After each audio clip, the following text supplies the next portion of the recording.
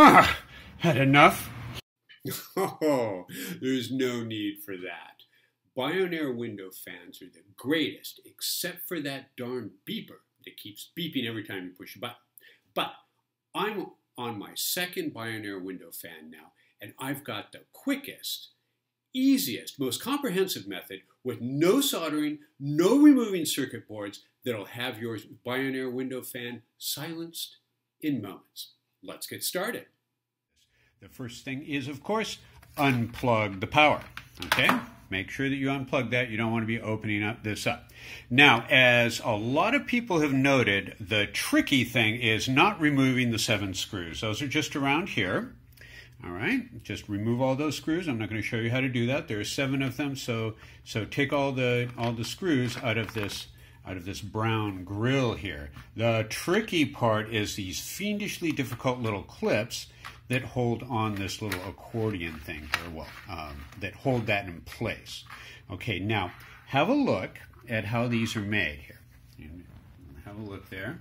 See how they've got a clip on the inside and a clip on the outside. Uh -huh. That means that you have to push this out at the same time that you push that in. it's kind of hard.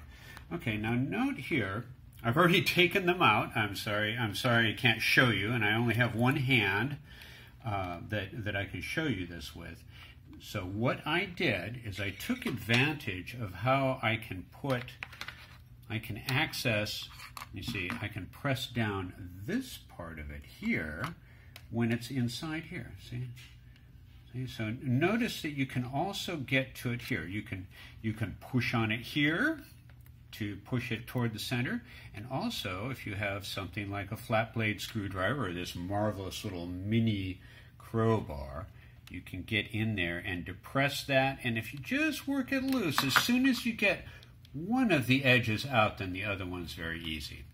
Uh, this is this is this is the hardest part of the whole operation. Again, notice how you have to push this part out at the same time that you depress this part here. Okay. It's got those two uh, those two catches on there. Now with the seven screws and the two clips removed, you can take off the back, take off the cover for the electronics, and there's the circuit board. Right here is our enemy. That round disc there is the obnoxious beeper that we are going to disable. Now, you have two choices. You have the cowboy method and the ninja method. The cowboy method is to destroy that capacitor there. It's labeled C10, C10. That means it's a surface mount capacitor, uh, thereby breaking the circuit. The other uh, gentler way, I guess, is to get out your ninja katana and cut right there or right there in a way that interrupts the current to the, either one, just one of them, either one of the terminals of the beeper. Okay, now here's the cowboy approach. We go in to C10 and with a pair of needle nose pliers and crush and destroy that component. Now I have executed both the ninja and the cowboy method. I crushed and removed capacitor C10. I actually do not recommend that. Without uh, being able to clean it up with a soldering iron and stuff like that, it it's not for amateurs. You got to have a soldering iron. If you got a soldering iron, you can remove C10, and that might be the way to go. If you don't have a soldering iron and all you have is a uh, ninja sword, then I, I chose to cut it right here, this white place, where I cut away the copper so it breaks the circuit to this terminal of the buzzer. So there, now the mod is done and we can reassemble the unit. When you put this accordion back on, make sure to clip it over these retaining clips here so that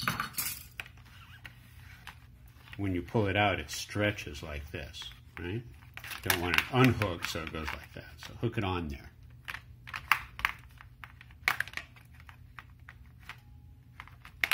There.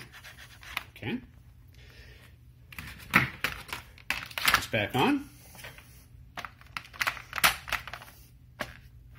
Now I have all seven screws put back in. Don't turn them too tightly. They, um, it's just plastic. They might go all the way through. And then now it's time to slip in these clips here. And on mine, for some reason, the lock symbol was on the back side. That seems backwards, but that's where they were. And that's it for the mod.